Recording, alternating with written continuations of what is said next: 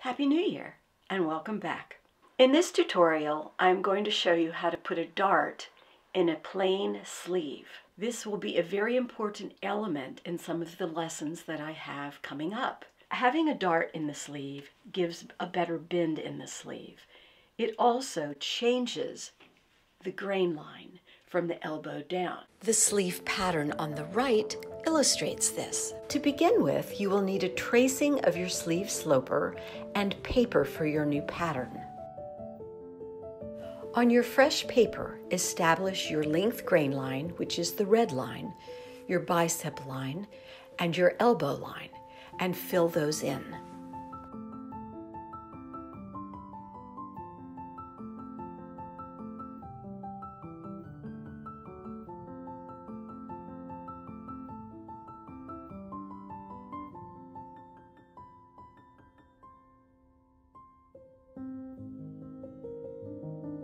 Lay your tracing down on the pattern paper, aligning all of the grain lines. Stabilize with straight pins from the elbow up. We're going to do the slash and spread method to make this new pattern. Slash along the elbow line from the back to the front, leaving a small hinge so the pattern doesn't fall apart. The two notches in the back of the cap indicate the back of the sleeve. Spread the slash line one inch and secure with either removable tape or pins.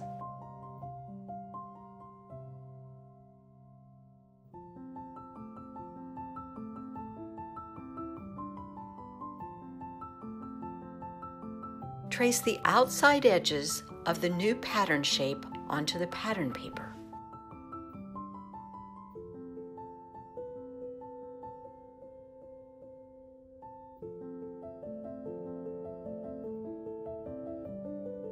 On the elbow line, from the red length grain line to the dart, divide this area in three.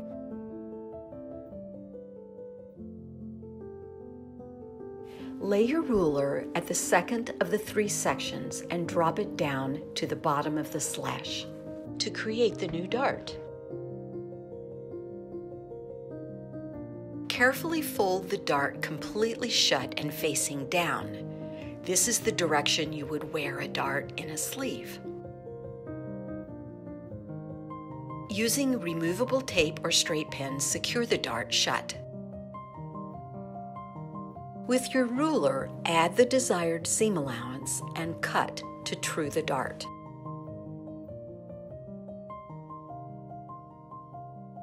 Open the dart and create the notches. Add seam allowance to the other side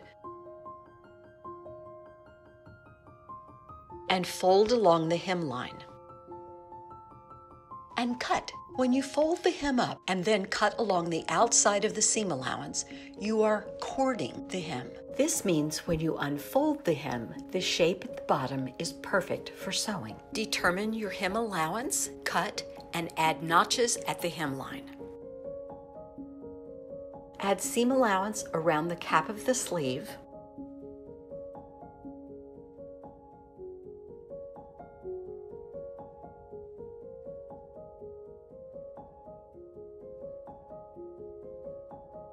Using your Variform curve or a French curve, connect all the dashes to create perfect seam allowance.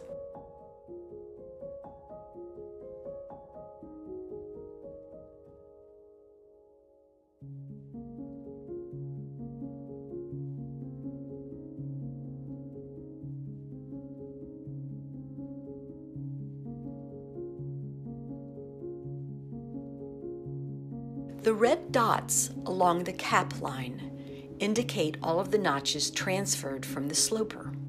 So now you need to extend those into the seam allowance to create notches.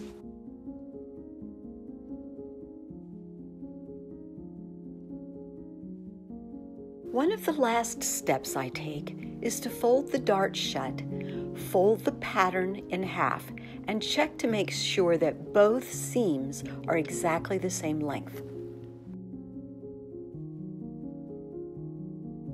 Because this elbow dart has changed the grain line from the elbow down, we want to straighten the grain line.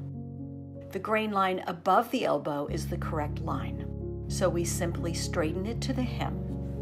Remove the original tracing.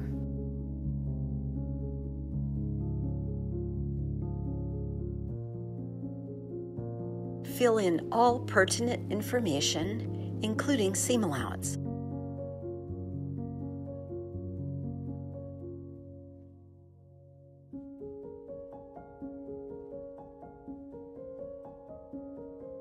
I hope you've enjoyed the tutorial. There are many lessons ahead, so stay tuned and see you next time.